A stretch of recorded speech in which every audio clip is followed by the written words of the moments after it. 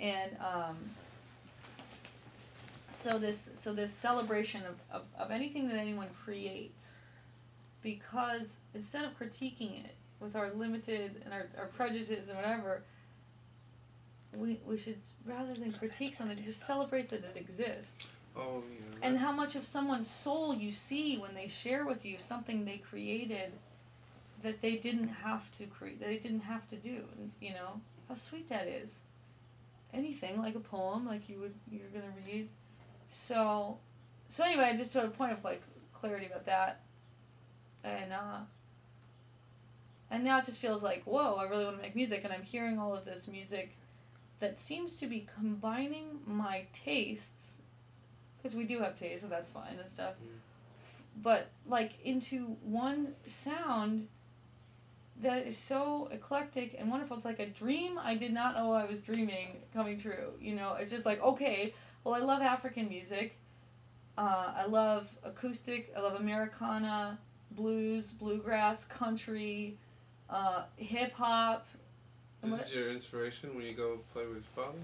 well, I'm just saying I've heard music lately that's really inspiring, and to me, African music, roots of rhythm, and the, the roots of these are the roots of rhythm. The roots of rhythm remain. You know, the the Paul Simon stuff like that is like whoa, duh, this is all of us. And for me, at least, I'm just like lit up with that sound, those beats, and those and those instruments and stuff. And I'm coming around to like indie bands, like you know whatever it is that that are like feeling that too. It's like white people, but you know whatever. It's it doesn't matter. It's there and it's coming out. Mm-hmm. It's like I just saw these bands in Iowa City performing of you know transforming a drum kit into like this. You know, taking it back, like appropriating it, appropriating it to make to build like an African rhythm and, and, and standing up and playing it and yelling up into a microphone that's like, you know, really like, ah, yeah, yeah, you know, just try. And you're like, what am I singing? I'm at a rock show, you know? Mm-hmm. And, uh, what's the text? So, so then I come to, um, to my friend here and she shares with me, well, my favorite, if I only had one CD, it'd be this. And it's this beautiful, rooted, historically charged, you know, music with clear like African African rhythms and, and beats and instrumentation oh, and it's like my it's like my that but I love like you know I love like like this this band I just saw Tune Yards is a woman where her her voice her soul is just like pouring out of her through his voice and she's so naturally a musician and uh, it's like a, a, an acoustic electric like ukulele thing with building a looped beat by like rat tat tatting on her mic stand and then boom tom drums and then a bass comes in and it's like all of these things can fit together in a very interesting way to me. It just seems to be a reflection of our time and our you know human evolution to this point. It's like this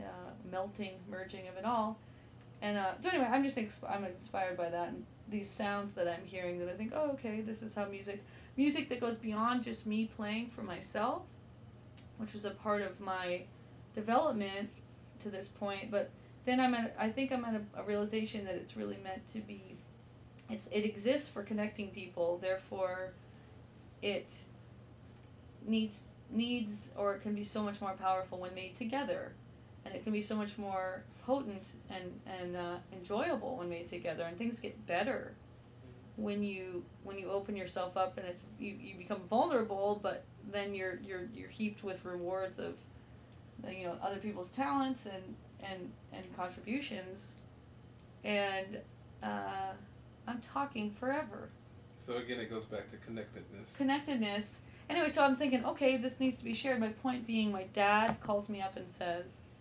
Uh, while i'm having this own personal feeling like "Oh, i want to make music want to make music. A lot of friends that have equipment and things that it's just like i've been so quiet about it it's almost it's, it is ridiculous. I've just been scared to say anything because i know that it's so available to me to like record anything or utilize instruments or have people join and sing and just you know but it's there. So anyway now i'm like pete can i do this too. and of course they're like yes! So um but my dad calls and goes yeah so this book's wrapping up and i think the the I, i'm sensing the next project for me will be uh i'm to produce an album. You know? Everyone, young people, everyone, you know, your healing prayer song, get that on you and Veronica, because my stepsister stepsisters sing, and uh, just think about how you would want to like record that and stuff. And I, you know, we're gonna take this thing on the road, and uh, Baha'is, non-Baha'is, friends, whatever. Mhm. We need to share with people like a like a spiritual Broadway act. Uh, you know, spiritualized broad, uh, just just a dance, writing, literature, poetry, music, perform. You know, uh, acting, uh, uh, just whatever people want to bring. I think honestly, it's like the electric acid Kool Aid test, minus, minus the jugs of drugs.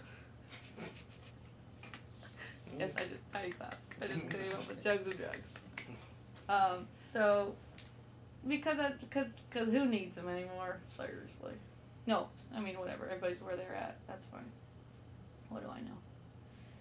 But that, of course, to me was like, Dad, you nuts. You nuts. You nuts. That's actually pretty exciting. Okay, I'll do it. You know, I mean, it's like that's how that's how he works. Often, on me at least. Anyway, what are people doing in the next six months? Because you might get a call. Is what I'm saying.